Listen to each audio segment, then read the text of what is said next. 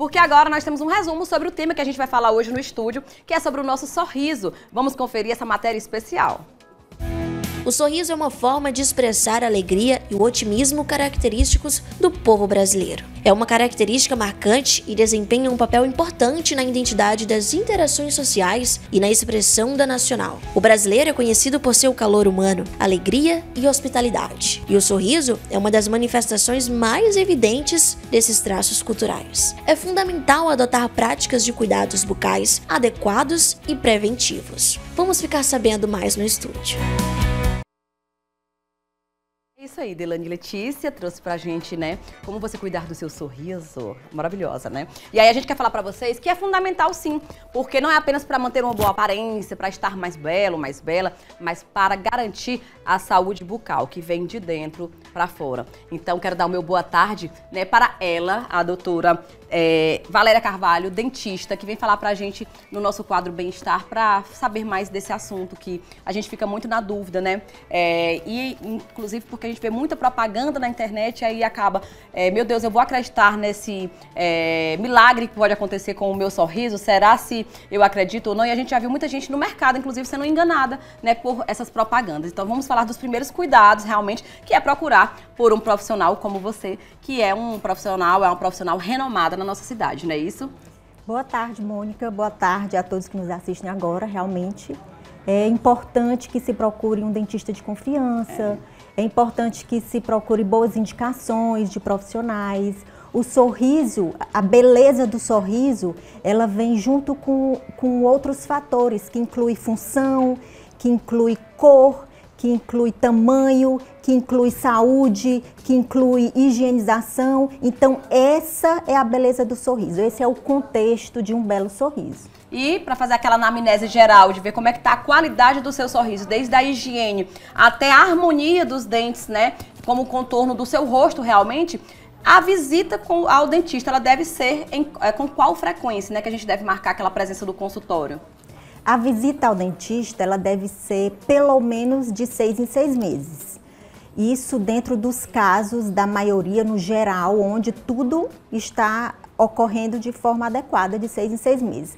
Há alguns casos né, específicos que esse tempo pode ser diminuído. E, e o melhor momento da gente programar esse período é, é despretensiosamente pode ser as férias.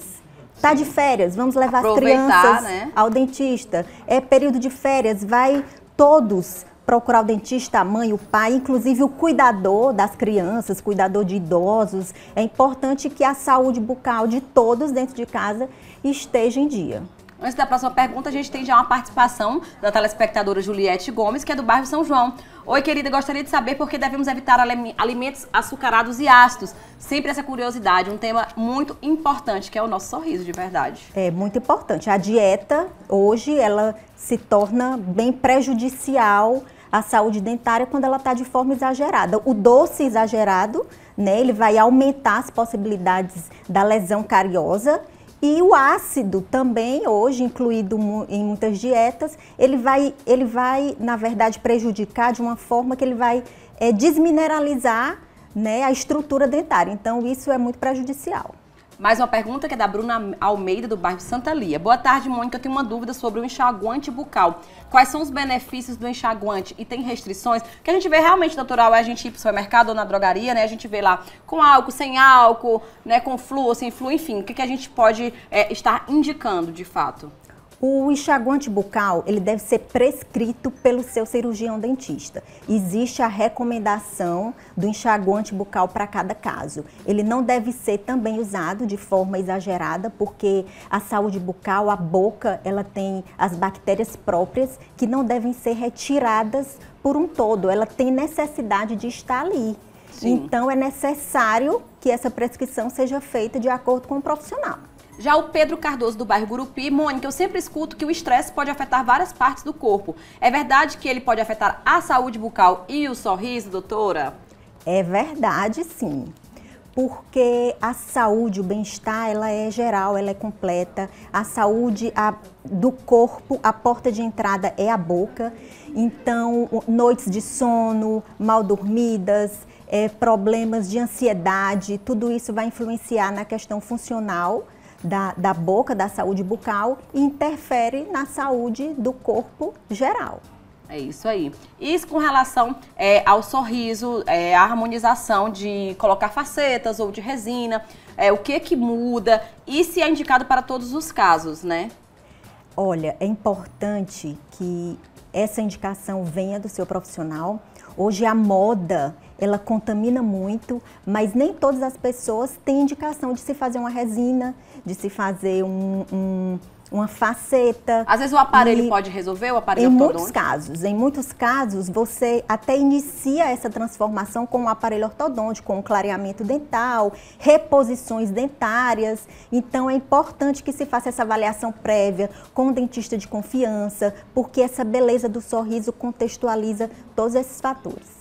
E também a questão, né, é, inclusive, dos cuidados que devem ser feitos é, de acordo com o uso do aparelho, que a higiene já é uma higiene mais redobrada, né? Também a questão do bruxismo, muita gente às vezes é, tem a questão da mordida diferente, então cada caso é um caso e deve ser realmente analisado, né? Cada caso é um caso, deve ser realmente analisado com o seu profissional especialista naquela área. Existem diversas especialidades e cada especialista vai tratar do, do, da sua especialidade. Então, é, é uma equipe odontológica para cuidar bem do seu sorriso e para te indicar o melhor tratamento. Queremos agradecer, né, é, por dedicar um tempo aqui para o nosso programa, que a gente sabe que você tem que já já atendimento no consultório, mas Sim. vamos reforçar suas redes sociais e convidar as pessoas a conhecer a doutora Valéria Carvalho e fazer aquele check-up geral, porque a nossa saúde bucal merece, né? Merece sim. Eu convido você a cuidar do seu sorriso, aproveite as férias, esse é o melhor momento. E com um preço até super acessível, dá para fazer iniciando com uma higiene bucal, que é essencial, né, doutora? Sim, a, a, a, prevenção odontológica, a prevenção da saúde bucal, ela é feita de uma forma simples, ela é descomplicada, ela... Indolor. Indolor, e ela é feita, depende muito de você, né? O que a gente já tem em casa é escova, pasta, fio dental, são os acessórios indispensáveis para essa prevenção e para manter a saúde da boca. Obrigada pela participação mais uma vez. Vamos deixar a entrevista disponível nas nossas redes sociais e o contato da doutora também. Volte sempre Obrigada. trazendo novidades para o Pode Entrar, tá Obrigada. bom? Obrigada.